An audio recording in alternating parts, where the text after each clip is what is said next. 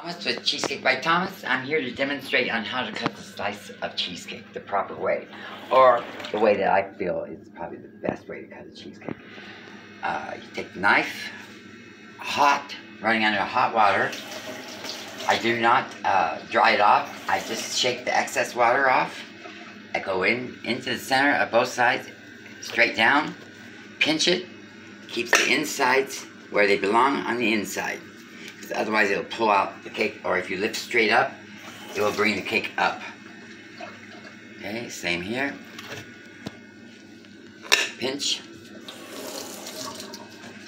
And I always cut two slices before I take out one.